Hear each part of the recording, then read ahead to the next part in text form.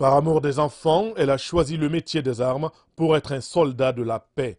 Lieutenant-colonel de l'US Navy, Madame Traoré Kadiatou Sidibé, qui a quitté le Mali à l'âge de 18 ans après son bac et être passée par l'ex-URSS, est aussi investie dans l'humanitaire. C'est ainsi qu'il y a deux ans, elle a fondé à Bamako un orphelinat à travers son ONG A Child for All ou un enfant pour tous.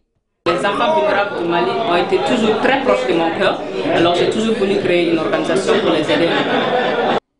Diplômé de la prestigieuse Université de la Défense des États-Unis et de l'Université George Washington, le colonel Kadiatou Sidibé est un officier engagé pour la cause des enfants, une dame de cœur que l'ambassadeur du Mali à Washington a tenu à honorer à travers cette action de collecte de fonds en faveur de son orphelinat.